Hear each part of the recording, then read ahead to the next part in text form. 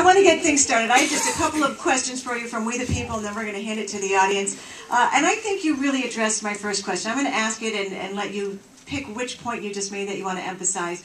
But as a mom, as an American, uh, as a founder of We the People, having run for office, my core principle is freedom. Freedom first. America first. A, as, as I said in the introductory remarks, a free America is a great America. As President of the United States, what one unwavering core principle do you hold that will guide you in everything that you do? I hope to get the chance to put my hand on the Bible again to swear an oath of office. And the oath of office will say that I will defend and protect the Constitution of the United States. My core principle is to defend that Constitution.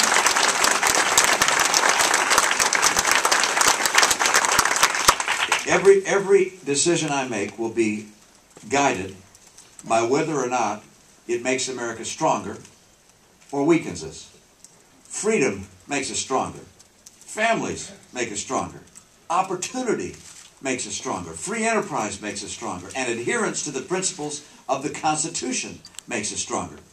So for me, that, that's the problem. That's the, as you can imagine, when you take the oath of office, you place your hand on the Bible. That's your highest promise to God. That comes, that comes uh, as absolutely essential. And for me, that's what it's all about. And that's one of the reasons why this, this huge piece of legislation has to go, because it violates that principle. Thanks, Jennifer. Then I'll just ask you two questions.